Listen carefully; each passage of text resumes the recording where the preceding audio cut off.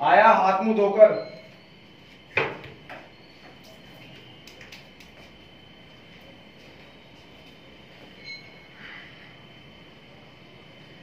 भाई, भिंडी बैंगन बनाकर तो तुम इतना चहकोगी नहीं। मेरे हिसाब से बात कुछ और है।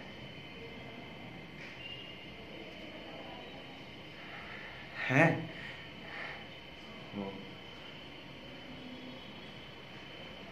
मायूस नहीं पर चिंतित ज़रूर हो गया हूँ।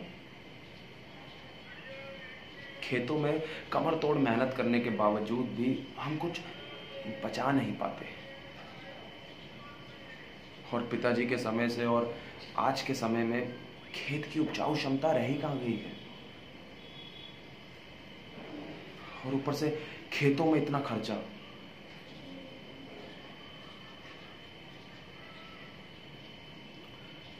अब जैसे तैसे हम तुम अपना पेट पाल लेते हैं।